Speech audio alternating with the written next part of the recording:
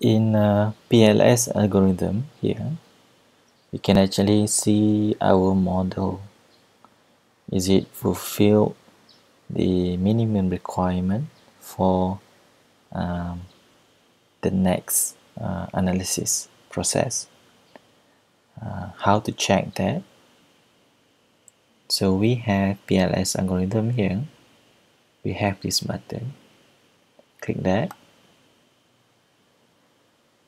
okay. So it will open a window like this. Um, we have the main window here and uh, several options.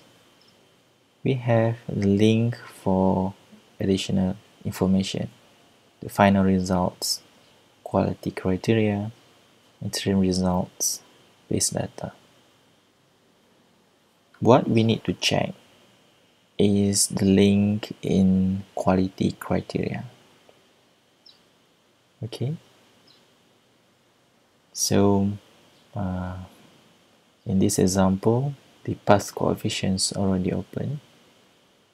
If we click this option path coefficients you can see uh, the graphs here represent uh, the relationships uh, that uh, more than the minimum requirement. Okay. Can go to link here r squared. You can see uh, the results of r squared. F squared. AVE composite reliability, Cronbach alpha,